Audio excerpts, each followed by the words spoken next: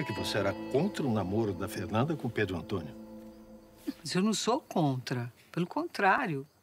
Eu só conversei com ela sobre essas diferenças dos dois mundos. Mas eu quero mais é que dê certo.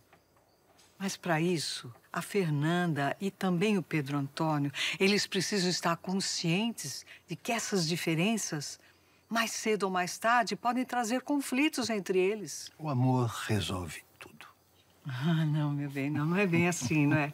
Não, no dia a dia é preciso mais do que amor.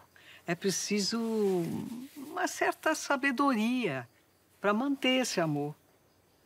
E eu quero que a minha neta esteja preparada para isso. Até para não perder o Pedro Antônio. Eu acho que sua neta se chateou por ter ouvido isso de você. É, foi. Foi.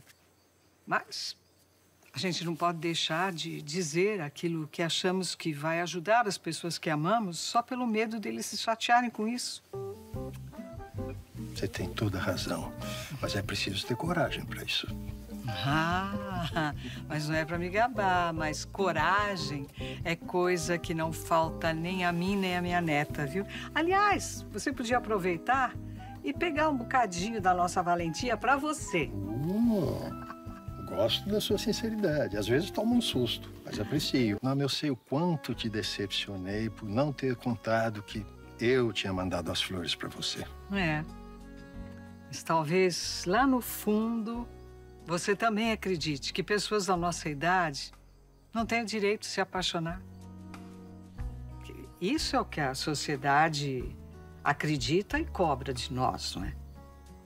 Nos tratam como crianças. E a gente aceita. Aceita isso e vai levando.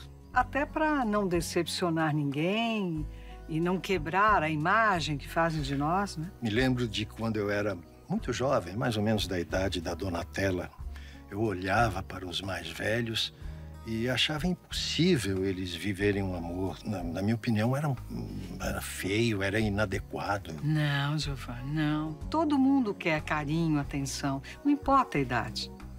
Agora, o que a gente não pode aceitar é essa caricatura que fazem de nós, nos tratando como crianças que precisam de atenção. Você entende, né? Sim. Nós temos todo o direito do mundo de amar, Giovanni. Temos que viver da melhor forma a nossa vida, sem ter que fingir que somos infantis, criancinhas que precisam de atenção.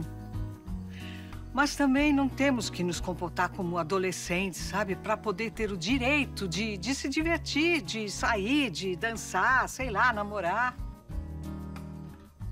A nossa alegria, nosso amor, nossa vontade de viver. Não envelhece com o nosso corpo. É por isso que eu gosto tanto de você, Norma. Você é uma mulher incrível.